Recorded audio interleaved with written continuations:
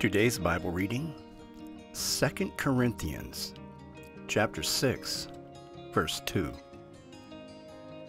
For he says, In the time of my favor I heard you, and in the day of your salvation I helped you. I tell you, now is the time of God's favor. Now is the day of salvation. 2 Corinthians chapter 6 verse 2